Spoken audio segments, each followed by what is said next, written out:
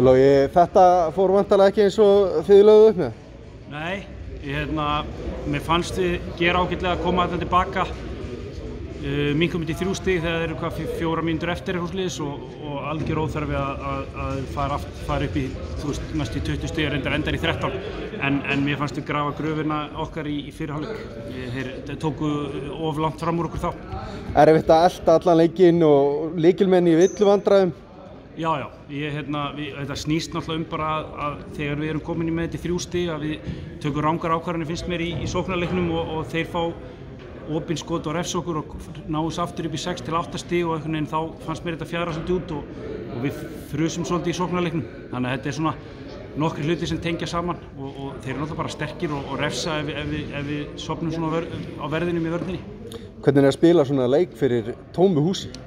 Það er mjög sérstakt. Ég hafi náttúrulega aldrei gerst með þessi lið að það sé tómt og, og hérna, en, en þú veist, það er alls þar og hérna, við bara erum mánaðir að fá að spila og fáum að spila aftur á sunnudaginn eftir einn dag, einn ein, ein dag á milli og, og hérna, við kvörtum ekki þó að sé ekki árundur í eitt skisti. Takk fyrir þetta Logi og gangi ykkur vel. Takk, takk.